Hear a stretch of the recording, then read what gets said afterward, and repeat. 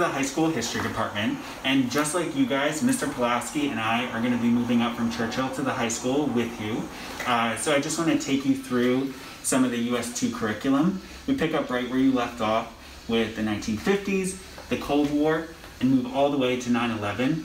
I'm really excited about teaching a Vietnam unit, uh, a civil rights unit, and then talking about a whole bunch of modern landmark Supreme Court cases that still shape how we figure out our identities, our towns, and our schools in 2020.